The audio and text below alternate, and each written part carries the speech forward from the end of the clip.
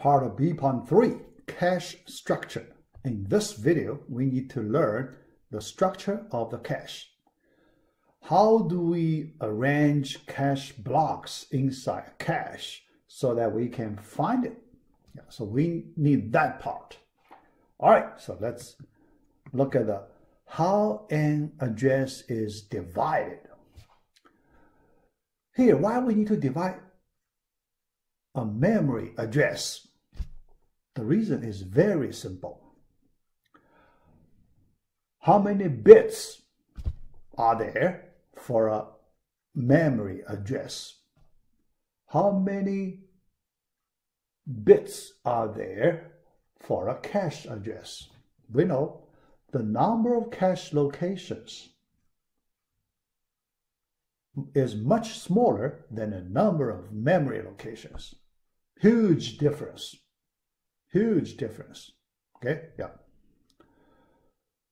In that case, the original memory address has to be divided into multiple pieces. And for the for a cache address, we only need to use a portion of the bits. We do not need to use all the bits in the memory address for our cache address. So for that reason, yeah, so we need to do that kind of division. Yeah.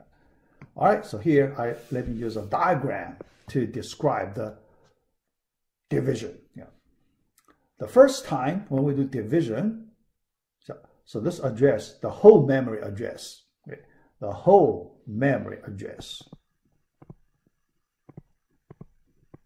All right. The first time, the first division, we need to do it twice. The first division is between block address and the block offset. All right, so here, we cut here. So this part, yeah, the larger part, block address, block address, okay? One cache block. In a cache, you you can have a block address, right? Yeah, block. So we, we call that part block address. And this part block offset. So why block offset? So we know the meaning of offset, right? Yeah. So the reason we call block offset, first, this part corresponds to the whole block. This is the whole block. Uh, 64B, right? The most frequently used block size, 64B. A double words, A times A. A double words, 64 bytes. Then each individual double word. So we we treat, you know, each word double word. So the requested double word is just one of the eight double words in a cache block. One of the eight in a cache block. But which one? Yeah, there are eight different possible locations in a block. So which one in, in the block? So that's the block offset. That's the block offset. Yeah, because there are eight double words, eight different locations in a block. All right, so then two cube, so this many locations in the block. So the block offset, so you can see the block offset, location in a block. Yeah. All right. Yeah. But there is a block size, right? Yeah. So block offset, but each block AB. Yeah. So you put together, you know, one block, this uh, 2 to the 6th B. Yeah. All right last six bits in memory address. So you can look at this way. Last six bits in memory address corresponds to this part. Okay, um, all right. Then the remaining, the block address. But the block address, we also need to do further division. Yeah, further division. So the block frame address, block frame address here, yeah, frame address, the same as the block address, block frame address, can be further divided into tag field and index field. Tag field. So from the name, you know, it's just a tag, right? The tag. Then the second part, index. So you know the index corresponds to the locations. Tag, nothing to do with location. Nothing to do with location. Just tag, you know, is a as a name, right? Tag just like a name. Yeah. Identifier, you know, or you know, things we use tag for mapping, matching, matching, you know, yeah. That purpose. How to use the fields. The block offset selects the desired data. Data here we mean double word, double word. Okay. Desired double word, desired data from the block. Okay, the double word, yeah, so I just des describe here, desired double word in the block. Okay, then the index field selects the set. Index field corresponds to the set location. Okay, set. Each set has a location, right? Set location. So one index corresponds to one set. One to one correspondence. Okay? The number of bits for the index field so you have the number of sets in the cache. All right. Then each set, you know, there are certain number of cache slots. Two-way, four-way, eight-way. Two-way, four-way, eight-way. So now, so you can get a whole structure of the cache. Whole structure of the cache. Okay. All right. All right. So next, yeah, so here, yeah, yeah, we also call a set address. It has, I cover that, yeah. All right, set address. Index we also call set address. Okay, yeah, all right. The tag field is compared against it for a hit. The purpose using tag field for comparison for matching. If the requested cache block is matched by the current cache block we are looking at. Okay, so how do we know it is matched?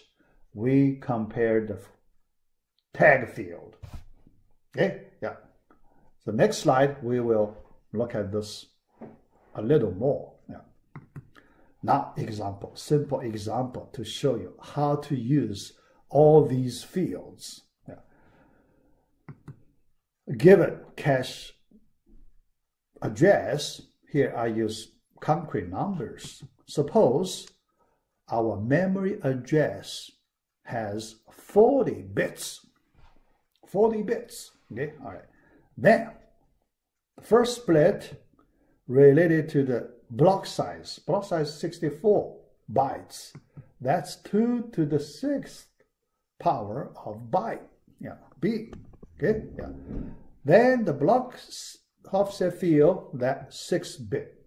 Last 6 bits, so we chop memory address, last 6 bits. That part, yeah, that's the block offset part. Okay, yeah.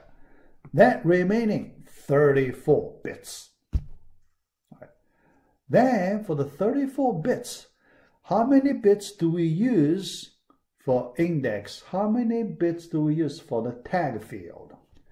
It depends on the cache size. What is your cache size, right? In this example, we use cache size 64 KB. 64 KB, the size, pretty small, yeah.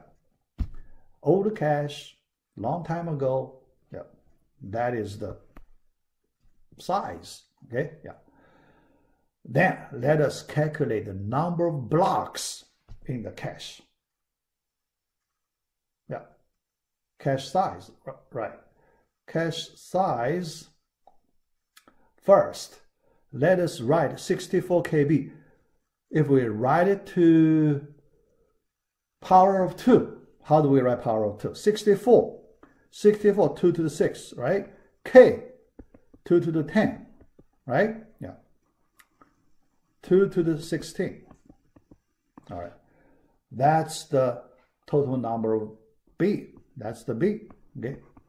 Then each block takes 2 to the 6th B. We do division.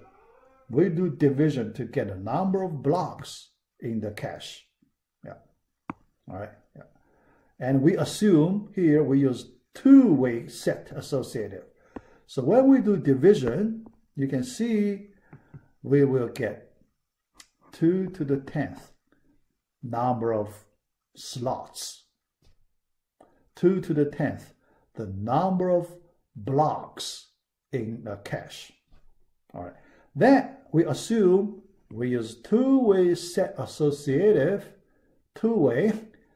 So then we do another division by 2, so we get number of sets, 2 to the ninth. 2 to the ninth. Another division by this 2 divided by, yeah, here, yeah, 2 to the ninth.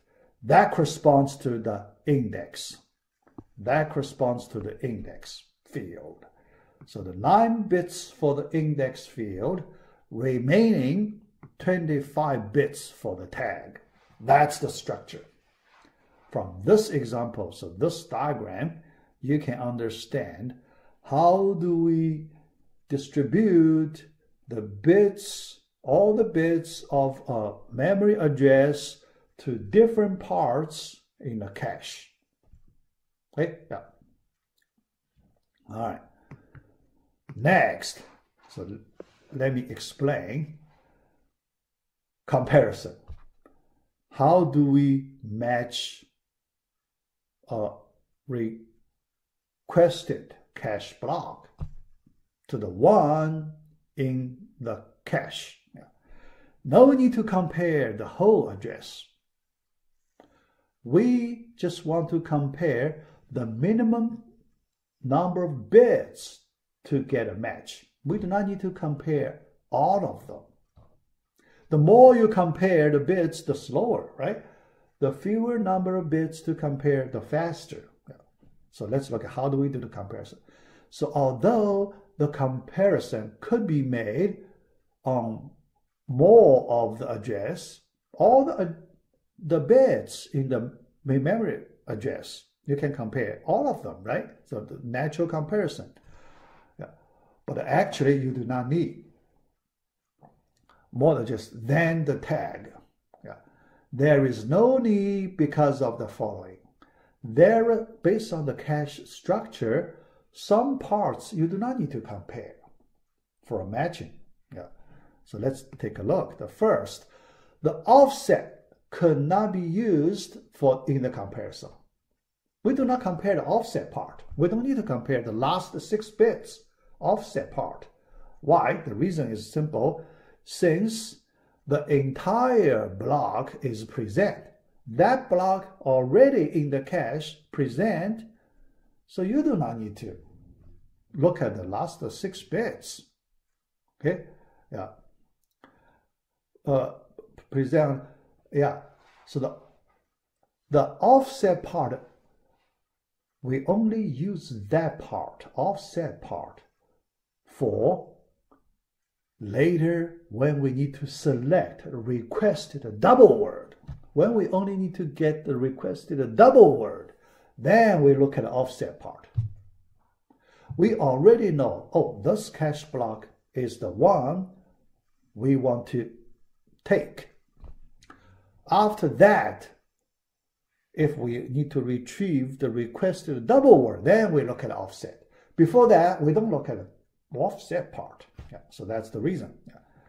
Next, checking the index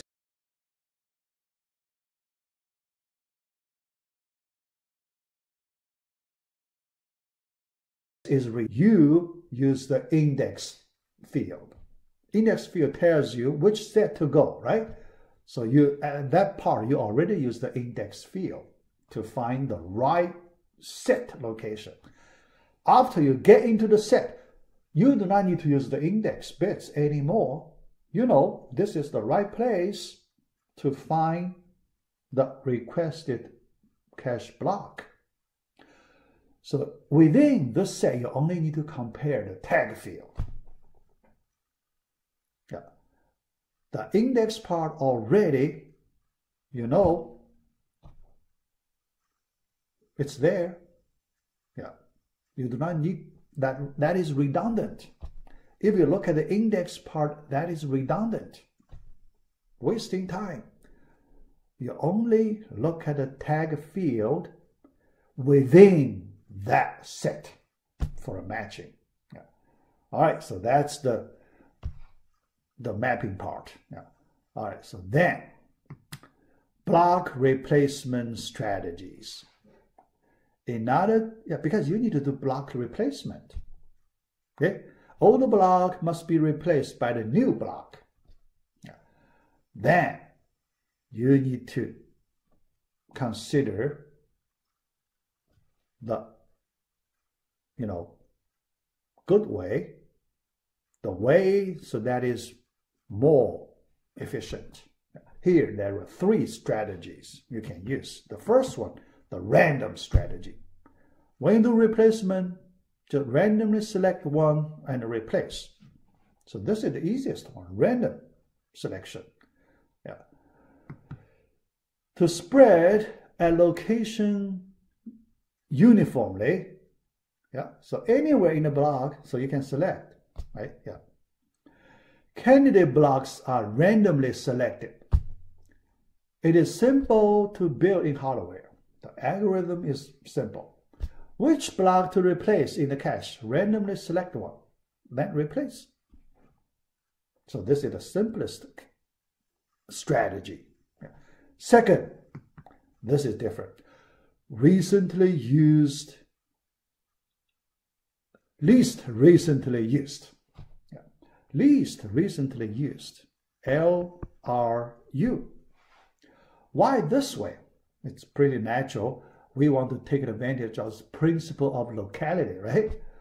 Least recently used, that if we replace that one, then we can take advantage of principle of locality the most. So this strategy is based on the principle of locality. Take advantage of that. Yeah. All right. To, to do that, to reduce the chance of throwing out the information that will be needed soon. Yeah. Temporal locality, right? Temporal locality, soon. Yeah.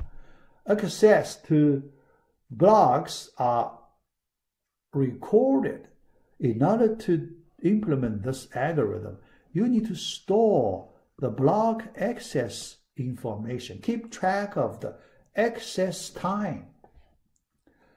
This step will make this method more expensive. Because you need to keep track of the access time information when you need to determine which block to replace, you need to compare which one is least recently accessed, right? So that is pretty complicated. That is pretty complicated. So that's the disadvantage of this method. Okay, yeah. The last one. Oh, yeah.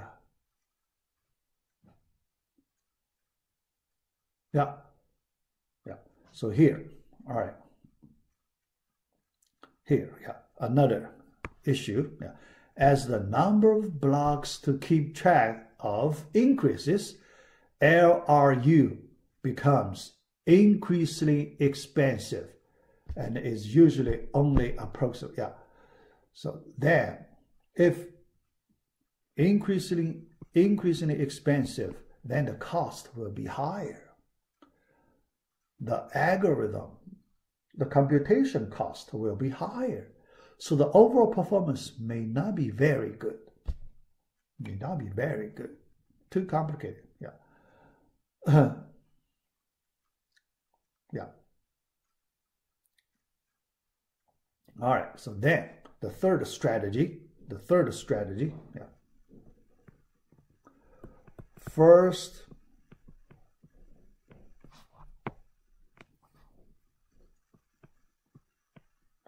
first in, first out.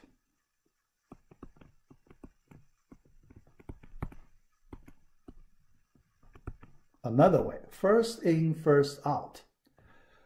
The you also keep track of the order. The first thing, uh, the the first time a cache get block get in, so then in the replacement, so that's the first out.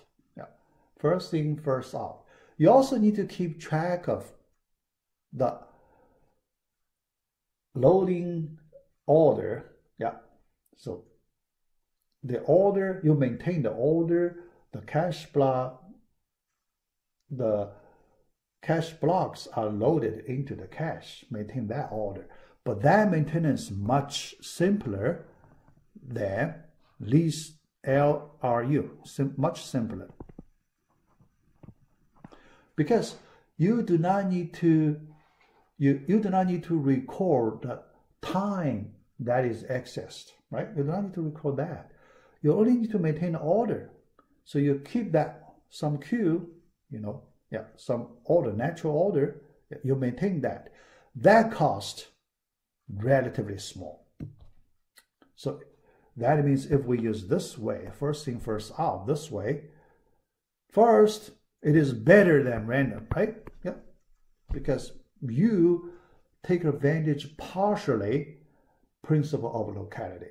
So not as good, the, you know, the way you use the principle of locality, not as good as LRU, but partially reflect the principle of locality. But the keep tracking part much cheaper than L, that of LRU. So you, you can get idea. Yeah. In the real world situation, these two methods should be considered, yeah, but not LRU. LRU is not not not very good. Yeah. All right. So that's the uh, B point three. Yeah. The last one, B point four, we will learn a very important topic: average memory access time. So that's a big important topic for this part B. All right, so let's